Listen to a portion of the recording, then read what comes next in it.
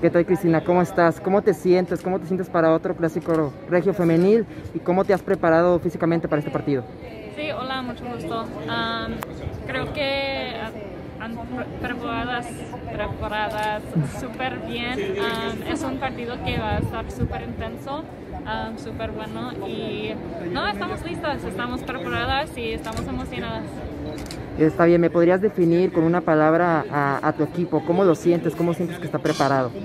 Sí, pues, I mean, toda esta temporada creo que como cada partido estamos mejorando en nuestro estilo, nuestros, como los, todos los detalles en, el, en, la cancha y creo que esto es um, el partido más importante para nosotras que es directamente enfrente de nosotras y bueno, estamos listas, estamos emocionadas y estamos preparadas. ¿Listas para quitar la racha a Tigres Femenil? Espero que sí, sí.